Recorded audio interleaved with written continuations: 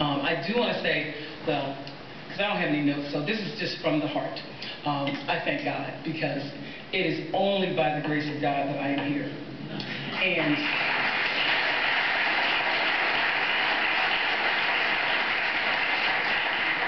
now there are a lot of times I think I have it going on. But I know that it is God's strength that has brought me here, and that is why I am so, so happy to be here. And He has blessed me to, be able to celebrate this wonderful occasion. But I do want to thank a number of people. I told Chief Judge Brown I would be here about 45 minutes, settle down, um, and just sort of get comfortable. I'm just kidding. Anyway.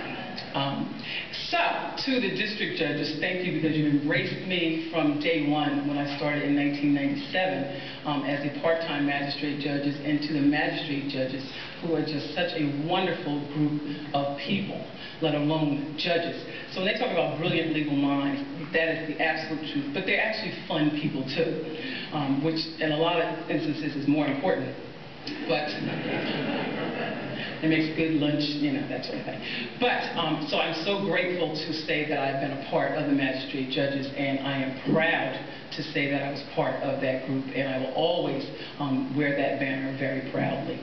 I do want to say to my father, and to my second mother, because my mother actually passed almost 15 years ago. But I want to say to my father and second mother, Dolores, thank you for your love and your support. It has been constant. And I'm even look at my father. Don't start crying. No tears.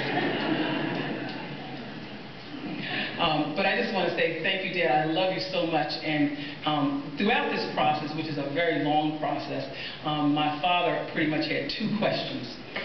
First question was, when can I tell people?